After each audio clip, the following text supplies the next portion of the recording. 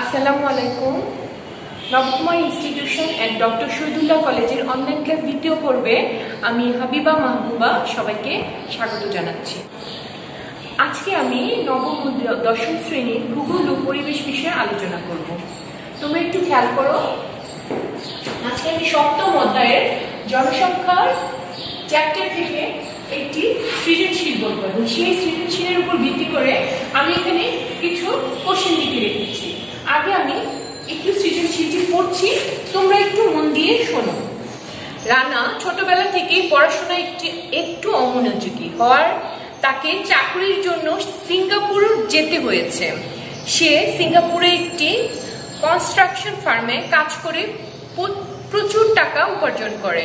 সে তার উপার্জিত টাকা দেশে বাবা মা ও ভাই বোনের জন্য পাঠায়। ওই একই গ্রামের তার কিছু বন্ধু বিদেশে থাকে, তারাও স্ব পরিবারের জন্য টাকা পাঠায়। রানা সহ তার বন্ধুরা দেশে ফিরলে মাঝে মধ্যে তারা গ্রামে ব্যান্ড সঙ্গীতের আয়োজন করে।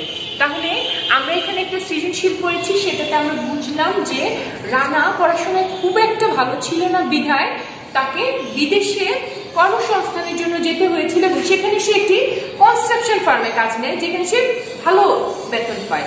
এবং সেই বেতনের টাকাটা সে তার গ্রামে যে তার বাবা, মা, ভাই বোন থাকে, তাদেরকে সে পাঠায় এবং তারা তাদের সংসারের কাজে সেই টাকাটা লাগায়। রানার পাশাপাশি সেই গ্রামের আরও কিছু তার বন্ধুরাও সেই সিঙ্গাপুরে যায় এবং রানার সাথে তারাও সেম ওয়েতে অর্থাৎ তারাও কিছু টাকা, বেতনের কিছু টাকা তাদের বাবা মাকে পাঠায় এবং তারা যখন সবাই একসাথে গ্রামে আসে, তখন তারা আনন্দ করে। অর্থাৎ আনন্দের জন্য সে তারা গান, বাজনা পিকনিক বিভিন্ন কিছুর মাধ্যমে তারা আনন্দ করে। এখন আমরা একটু সৃজনশীল প্রশ্নটির দিকে দেখি। অভিবাসন কি? অভিবাসন হচ্ছে একজন ব্যক্তি যখন কোনো কারণে এক স্থান থেকে অন্য স্থানে প্রস্থান করে, তখন তাকে অভিবাসন বলে। অভিবাসনের কারণ বিভিন্ন হতে পারে, সেটা বড় কথা না, কিন্তু একজন মানুষ যখন কোনো কারণ নিয়ে এক জায়গা থেকে অন্য জায়গায় যাবে, তখন তাকে অভিবাসন বলে। মৃত্যু হার জানা প্রয়োজন কেন? আমাদের মৃত্যু হার জানা প্রয়োজন। শুধু জন্ম হারটা কেমন হবে শুধু সেই জন্যই মৃত্যু হার জানা প্রয়োজন না। মৃত্যু হার জানা প্রয়োজন কারণ এতে করে আমাদের দেশের অর্থনৈতিক ভারসাম্য বজায় থাকবে। আমরা যদি কিংবা দেশের জনসংখ্যা যদি দেশের যে অবস্থান কিংবা দেশের যে জনসংখ্যার হার, সেটা নাই বা জানে তাহলে শুধু জন্মহার বৃদ্ধি করতে থাকলে তাহলে কিন্তু সেটা পুরো অর্থনীতির উপর প্রভাব ফেলবে এবং সেখানে অর্থনীতি ক্ষতিগ্রস্ত হবে। এবং একটি দেশের অর্থনীতি যদি ক্ষতিগ্রস্ত হয়, তাহলে কিন্তু সেখানে কখনোই উন্নতি আসতে পারে না দেশে। তাই একজন ব্যক্তি যখন তার দেশের মৃত্যু হার জানবে কিংবা তার দেশের জন্মহারটা কি সেটা সম্বন্ধে তার সঠিক ধারণা থাকবে, তাহলে কিন্তু সে সঠিক জন্মহার কিংবা সে ভিত্তিতে তার নিজস্ব কর্মকাণ্ডের মাধ্যমে সে দেশের অর্থনৈতিক অবস্থা, উন্নয়নে তার ভূমিকা রাখতে পারবে। তাই বলা যায়, একটি দেশের মৃত্যু হার প্রক্রিয়াটি জানা অত্যন্ত গুরুত্বপূর্ণ। তারপরে আমরা দেখব গ। রানার স্থানান্তর প্রক্রিয়াটির অন্যান্য কারণ ব্যাখ্যা করো। এখানে আমরা প্রথমে সৃজনশীলে দেখেছি যে রানা পড়াশোনায় অমনোযোগী তাই তাকে বিদেশে কর্মক্ষেত্রে পাঠানো হয়েছে।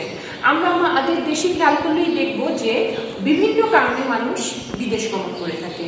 এর মধ্যে একটি কারণ হচ্ছে, অনেকে ছোটকাল থেকে পড়াশোনায় খুব একটা মনোযোগী হয় না। তাই বাবা মা মনে করে যে তারা যখন একটু বুঝতে শিখবে কিংবা তারা যখন চাকরির ব্যবস্থা করতে পারবে, তখন তাদের বিদেশ পাঠিয়ে দিবে। সেটাও একটা বিদেশ গমনের একটা উল্লেখযোগ্য কারণ। অনেকে আবার বিদেশে ভালো চাকরির উদ্দেশ্য সেখানে গমন করে থাকে। ভালো চাকরি মানে দেশের বেতনের চেয়ে বিদেশে যখন কেউ ভালো বেতন পায়, তখন কিন্তু সে বিদেশ গমন করে।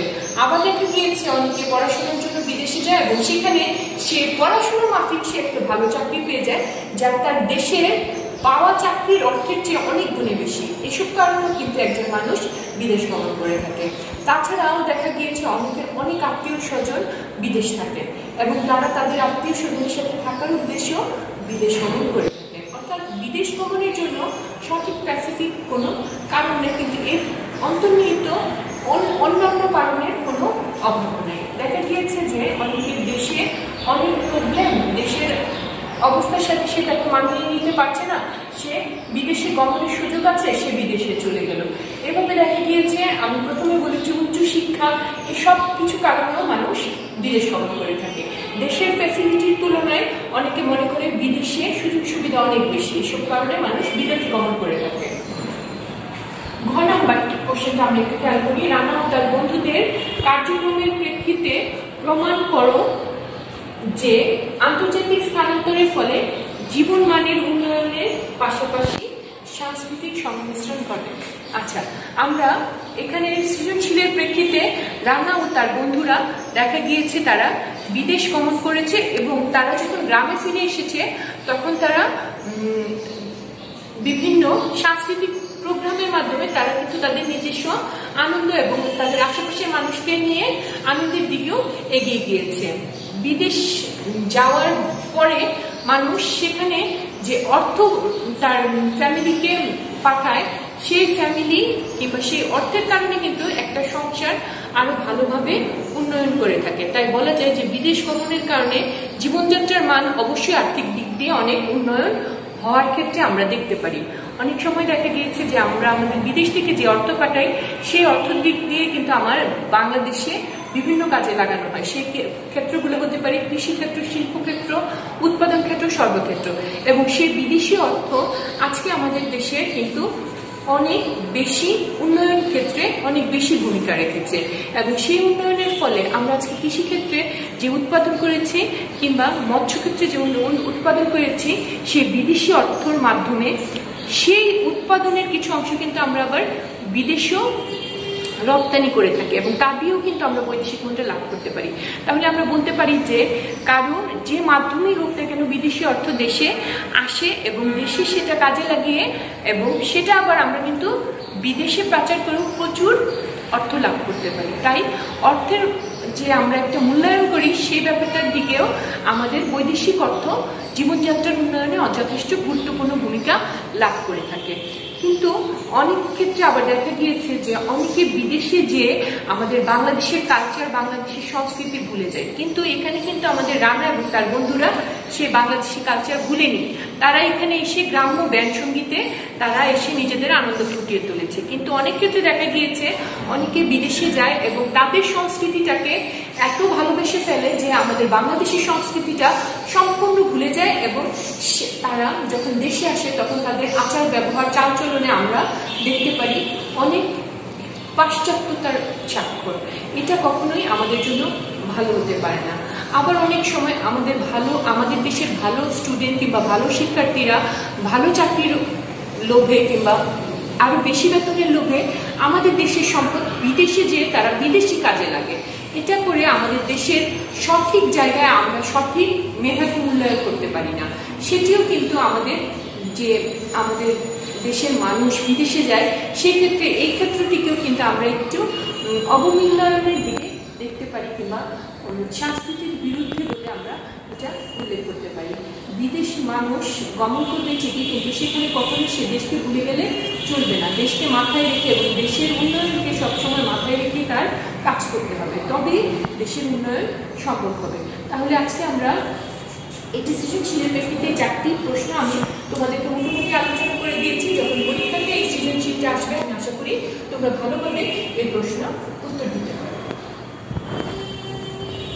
শিক্ষার্থীরা তোমরা একটু খেয়াল করো, আমি আরেকটি অধ্যায়, অর্থাৎ ত্রয়োদশ অধ্যায়, বাংলাদেশের উন্নয়ন ও কর্মকাণ্ড ও ভারসাম্য। এই অধ্যায়েরও আরেকটি সৃজনশীল পড়ব এবং এর ভিত্তিতে আমি কিছু প্রশ্ন আগে থেকে লিখে রেখেছি এখন আমি একটু সৃজনশীলটি পড়ব, তোমরা একটু মনোযোগ দিয়ে সৃজনশীলটি শোনো। দৌলত রাম দি গ্রামের ইট ভাটা তৈরি হওয়ায় গ্রামের অনেক লোক সেখানে কাজ পেল গ্রামের কাঁচা বাড়িগুলোর পরিবর্তে ইটের দালান তৈরি হলো। এতে গ্রামের উন্নয়ন হলো তবে ইট তৈরির জন্য কাঁচামাল সংগ্রহ, জ্বালানি সংগ্রহ ও- ইট ভাটার ধোয়ায় ইত্যাদির কারণে গ্রামের পরিবেশ দূষিত হলো। আমরা দেখলাম দৌলতরামদি গ্রামে একটি ইট ভাটা স্থাপন হওয়ার ফলে সেখানে কাঁচা বাড়ির পরিবর্তে পাকা বাড়ির দিকে সবাই মনোনিবেশ হলো এবং এর ফলে পরিবেশেরও কিছু দূষিত হলো কিংবা দূষণ হলো। আমরা এখন একটু কোশ্চেনগুলোর দিকে তাকাই এখানে উই সৃজনশীল ভিত্তিতে আমি কিছু কোশ্চেন লিখেছি সেটি হচ্ছে এক নাম্বার ক। পরিবেশের প্রধান উপাদান কি? আমরা যদি দেখি পরিবেশের প্রধান প্রধান উপাদান হচ্ছে জমি বা ভূমি, বায়ু, পানি, বনজ সম্পদ। এই সব কিছুই কিন্তু আমাদের পরিবেশের উপাদান। এখন কথা হচ্ছে এগুলো কেন পরিবেশের উপাদান? কেননা, পরিবেশ যদি আমরা কল্পনা করতে চাই, তাহলে অবশ্যই আমাদের একটি ভূমি বা জমি দরকার, অর্থাৎ একটা জায়গা দরকার। সেখানে অবশ্যই বায়ু দরকার, অর্থাৎ বাতাস দরকার। বাতাস ছাড়া সেই ভূমিতে কখনো ফসলও ফলবে না, মানুষও বেঁচে থাকতে পারবে না। বেঁচে থাকার জন্য পানির বিকল্প নেই, সেখানে পানি দরকার। আর আমরা শ্বাস প্রশ্বাসের জন্য, অক্সিজেনের জন্য অবশ্যই যে জিনিসটি দরকার, সেটি হচ্ছে আমাদের বনজ সম্পদ। সেই বনজ সম্পদ যদি না থাকে, তাহলে সেখানে আমরা কখনোই পরিবেশ কল্পনা করতে পারব না। তাই পরিবেশের প্রধান উপাদানই হচ্ছে এই চারটি তারপরে আমরা খেয়াল করি, মানুষের কর্মকাণ্ডে ভূমিক্ষয়ের কারণ ব্যাখ্যা করো।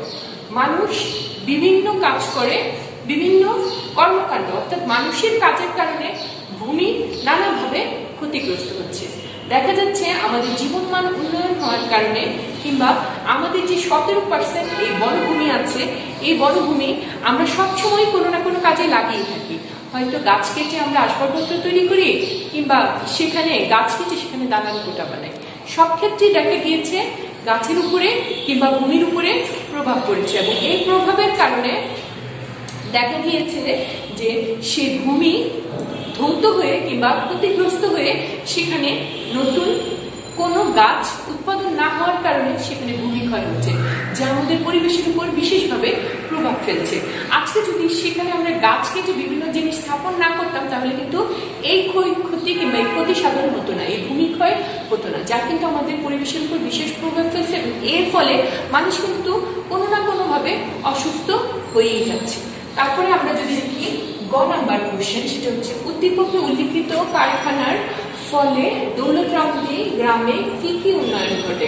আমরা এখানে সৃজনশীলটির দিকে খেয়াল করলে দেখব। দৌলতরামদি গ্রামে এই যে ইট ভাটাটি স্থাপন করা হয়, এর ফলে কিন্তু আগে গ্রামের মানুষরা যেখানে কাঁচা বাড়িতে থাকতো, অর্থাৎ মাটির বাড়িতে থাকতো, সেখানে তারা ইট ভাটায় উৎপাদিত ইট, ইটগুলো পাওয়ার কারণে কিংবা সেখানে সহজলভ্য হওয়ার কারণে। কারণ দেখা গিয়েছে কারখানা স্থাপনের ফলে গ্রামের মানুষ সহজেই সেখানে ইট সংগ্রহ করতে পারছে এবং সে দিয়ে একটা পাকা বাড়ি স্থাপন করতে পারছে। ফলে মানুষ দেখা দিয়েছে, কাঁচা বাড়ির পরিবর্তে পাকা বাড়িতে থাকতে শিখেছে। তাদের জীবনমানের উন্নয়ন হয়েছে। আমরা দেখেছি মানুষ পড়াশোনার ক্ষেত্রে নিজের গ্রাম থেকে ঢাকা শহরে যায় কিংবা ঢাকা শহর থেকে হয়তোবা আরও কোনো ভালো যেখানে বিশ্ববিদ্যালয় আছে, সেটি দেশে হতে পারে, সেটা বিদেশে হতে পারে। সব কিছুই কিন্তু মানুষ উন্নয়নের খাতিরে করে কিংবা উন্নয়নের ব্যতি রেখেই করে। তাই বলা যায় যে ইট ভাটা স্থাপনের ফলে তাদের জীবন মানের উন্নয়ন হয়েছে। তারা এখন পাকা বাড়িতে থাকতে শিখেছে। তারা সেখানে কলকারখানা স্থাপন হয়েছে সহজেই। কেননা সেখানে কাঁচা ইট ভাটা থাকার না কারণে সেখানে দেখা গিয়েছে ভালো কলকারখানা কখনোই স্থাপিত হতে পারেনি। এবং সেখানে ইনভার্টার স্থাপন হওয়ার কারণে মানুষের কর্মসংস্থানের সৃষ্টি হয়েছে, মানুষ সেখানে কাজ পেয়েছে এবং মানুষের সর্বসাকুল্যে উন্নয়ন হয়েছে, মানুষের জীবনযাত্রার মান উন্নয়ন হয়েছে। সে খেতে শিখেছে, সে পড়তে শিখেছে। তার টাকার যে একটা সমস্যা ছিল, অর্থের যে সমস্যা ছিল, সেটি কিন্তু এই কারখানাটা স্থাপনের ফলেই মানুষের এই অসুবিধাটা দূর হয়েছে। তাই আমরা বলতে পারি যে, এই ইট ভাটার ফলে উম, গ্রামে যথেষ্ট উন্নয়ন সাধিত হয়েছে। উক্ত কারখানার ফলে উন্নয়নের পাশাপাশি পরিবেশের উপর যে প্রভাব পড়ল তা বিশ্লেষণ করো। এই যে আমরা তখন বললাম যে দৌলতরামদি গ্রামে ইট ভাটাটা স্থাপিত হয়েছে সেটি যেমন দৌলতরামদি গ্রামে উন্নয়ন হয়েছে তার পাশাপাশি কিন্তু সেটি পরিবেশের উপর বিশেষ একটা প্রভাব ফেলেছে। এখানে ইট ভাটার ধোয়ার কারণে কার্বন ডাইঅক্সাইডের বৃদ্ধি হয়েছে এবং গ্রামের মানুষের কিন্তু স্বাস্থ্যেরও অবনতি হয়েছে। দেখা গিয়েছে, এতে করে কিন্তু অনেক সমস্যা কিংবা অনেক জীবাণুর সৃষ্টি হয়েছে, অনেক অসুখেরও সৃষ্টি হয়েছে, যা গ্রামের মানুষ দেখা গিয়েছে বেশিরভাগই অশিক্ষিত এবং অজ্ঞ এবং অর্থের দিক দিয়েও তারা থাকে দুর্বল। ফলে বিভিন্ন অসুখে তারা আক্রান্ত হলে সেটির কিন্তু সুচিকিৎসা তারা সহজে লাভ করতে পারবে না এবং তারা যেহেতু এখানে একটি ইনভার্টার স্থাপিত হওয়ার ফলে তারা কর্মসংস্থান পেয়েছে এবং সেখান থেকে তারা অর্থ পাচ্ছে, তাই তারা তাদের অসুবিধাগুলো সেভাবে বুঝতেও পারবে না। তাই বলা যায়, একটা জায়গা কিংবা একটা পরিবেশে যখন এইসব কলকারখানা স্থাপন করা হবে, তখন কিন্তু সেটা ভূমির উপরেও প্রভাব পড়বে। এই ভূমির উপর প্রভাব ফেলার কারণে সেখানে ভালো গাছপালা উৎপাদন হতেও সেখানে সমস্যা দেখা দিবে এবং মানুষের জীবন মান অর্থাৎ একটি সুস্থ বাড়িঘর কিংবা সেখানে সেখানে শব্দ ধোয়ার কারণে বিভিন্ন সমস্যার সৃষ্টি হবে এবং রোগ প্রয়োগ সৃষ্টি হবে। তাই বলা যায় যে এই ইট ভাটা স্থাপনের ফলে সেটি পরিবেশের উপরও বিভিন্নভাবে প্রভাব পড়েছে এবং পরিবেশেরও ক্ষয়ক্ষতি হয়েছে আজকে আমি তোমাদের শিক্ষার্থীরা এই নবম, দশম শ্রেণির ভূগোল পরিবেশ ক্লাসে আজকে আমি দুটো সৃজনশীল পড়িয়েছি দুটো চ্যাপ্টার থেকে সপ্তম অধ্যায় এবং ত্রয়োদশ অধ্যায় থেকে এবং সেই দুটো সৃজনশীলের আমি যথাযোগ্য চেষ্টা করেছি এর আনসার বলে দেওয়া তোমরা এই ক্লাসটি বারবার বারবার পড়বে এবং মনোযোগ দিয়ে পড়বে। দেখা যাবে তোমাদের এই মনোযোগই তোমাদের পরীক্ষাতে ভালো ফলাফল করতে সাহায্য করবে। আজকে তাহলে এখানেই। আসসালামু আলাইকুম।